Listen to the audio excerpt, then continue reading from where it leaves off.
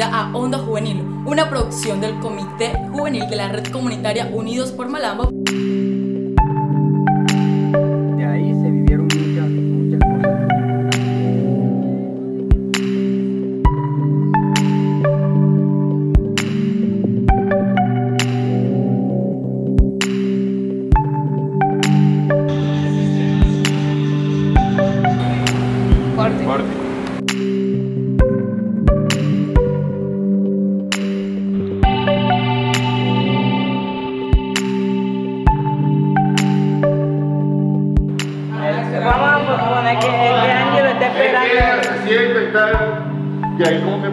Conversación, o sea, de que, este, no sé, como, hola, ¿qué hubo? Este, El proyecto de la Escuela de Formación Audiovisual de Baranoa se gestionó en el marco de eh, la estrategia o del proyecto Atlántico Digital.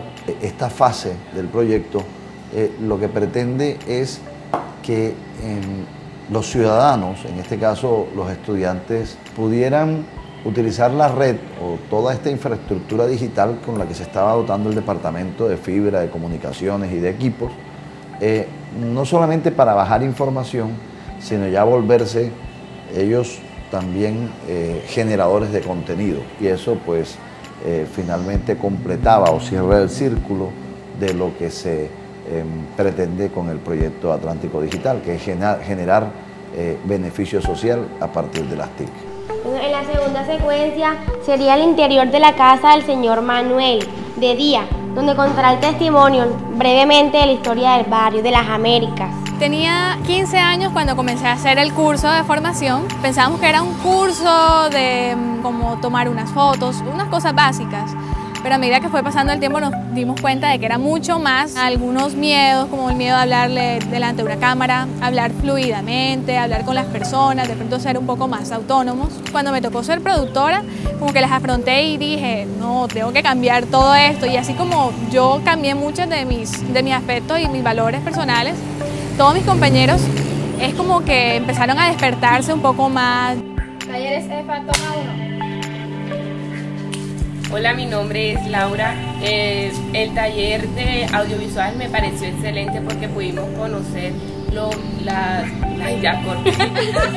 Este fue un espacio muy provechoso para todos mis compañeros, para los estudiantes que en ese momento eh, estuvimos aprendiendo unas nuevas técnicas de cómo dinamizar también nuestros procesos eh, de formación para compartir con nuestros estudiantes.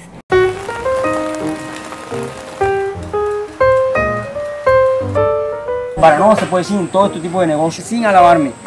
Soy uno de los mejores.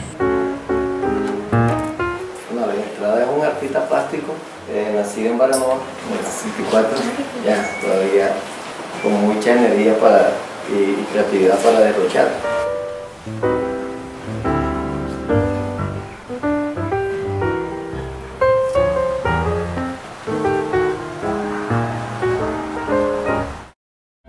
Hace tres semanas estoy en un curso eh, audiovisual en la Universidad Tecnológica y pues la experiencia ha sido bastante gratificante porque son conocimientos que estamos adquiriendo, seis, siete estudiantes y ya tenemos como un plus en comparación a la gente que viene atrás de nosotros y que está en la universidad.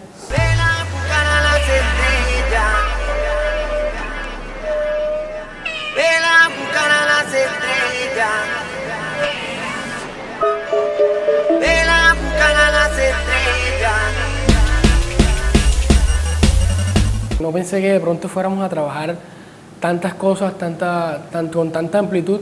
Se puede decir que de pronto termino como que con una gran satisfacción de que aprendí muchas cosas que puedo aplicar en, en mi vida de cualquier forma.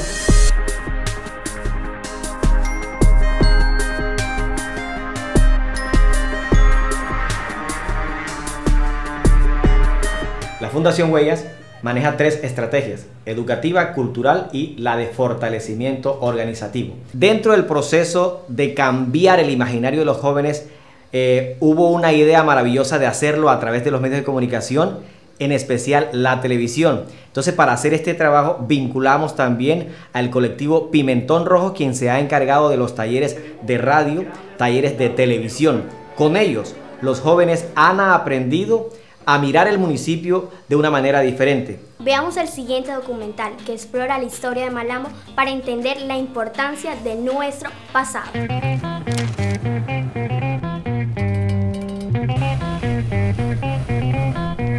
Malambo no, no fue fundado, fue descubierto en 1531, dice la historia. Al principio me dio con un poco de nervio.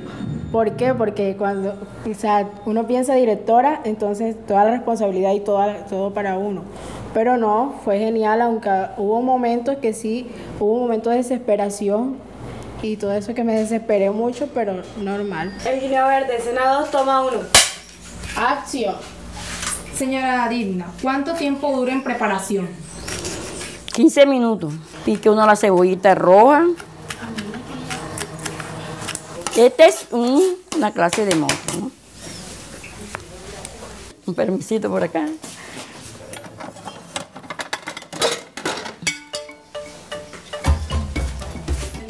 Este es el famoso mote, pues que se conoce acá en la costa, pues como eh, un dialecto más común entre uno. Frente a una cámara me soy como muy nerviosa y quiero dejar eso y por eso para, para dejar eso cogí ese, ese rol. Así es, Jaylin. Desde las inmediaciones del río Toribio se encuentra Lugenit Ramos con una nota sobre el tema. Adelante, Lugenit. Ay, la blusa que yo puse aquí. ¡Lugení! Dime.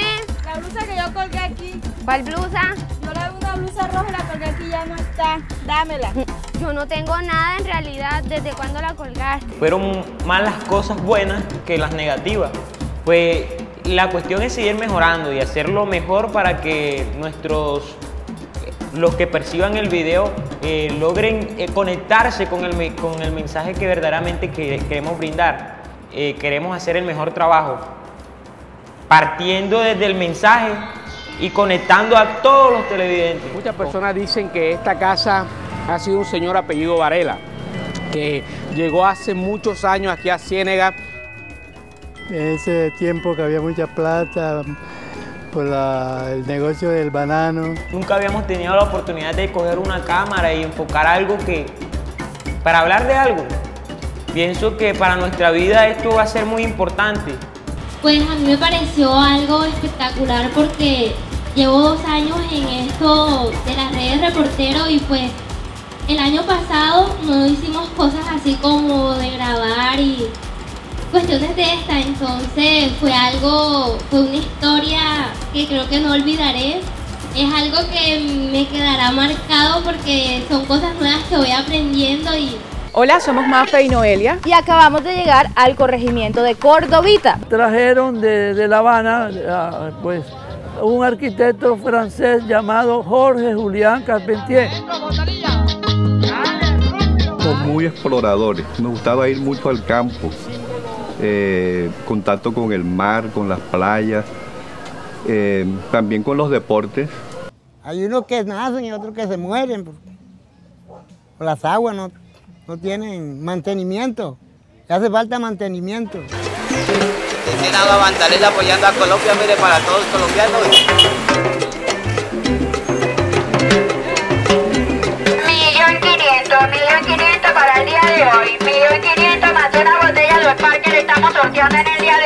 Pues la experiencia fue más de miedo a que todo saliera mal, a que el video no le gustara, o que fuéramos bien de tiempo, que el entrevistado estuviera. Pero gracias a Dios todo salió bien. Darle gracias a, a Prodeco y a los profesores de Pimentón Rojo.